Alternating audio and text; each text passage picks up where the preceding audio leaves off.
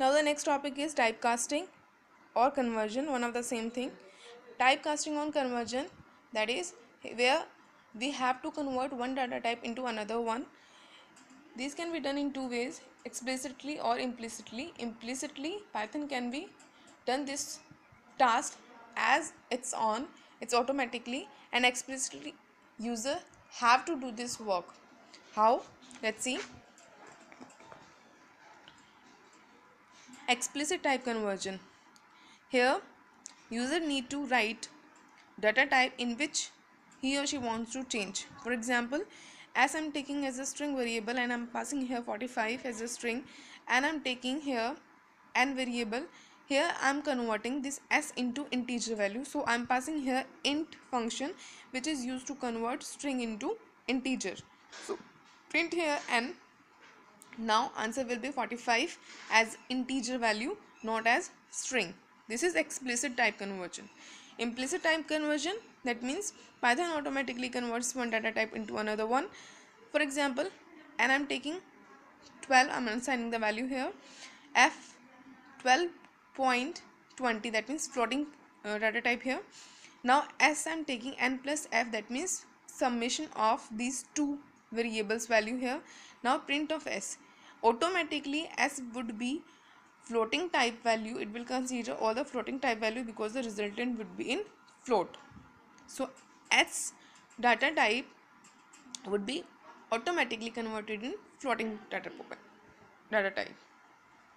Now the next one is math module. This is another topic. Math module is just the function or mathematical function you can say. We will include from the library or you can say python library. Here is the one question. What do you mean by python library? These are the built-in files which are imported in our programs to help to execute various tasks. How can we import here? We are simply just written as import math. Import math that means import is the keyword. So we have to write in lowercase letters.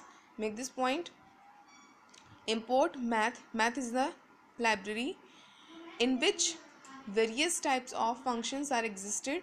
We will include in our program. Import. We are importing this library from the python library. Now let's take an example. Let's see.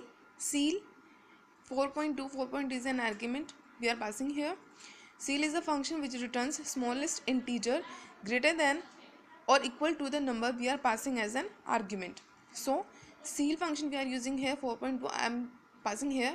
So answer would be 5 which is the next greater integer.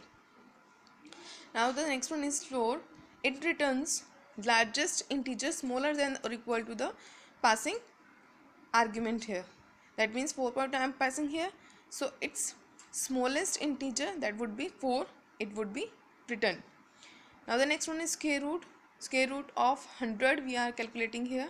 It would pass here 10 so these are simply examples of mathematical functions which we will import from maths library. Okay. Now the control statements. This is the continued topic in this chapter. We will include in the next video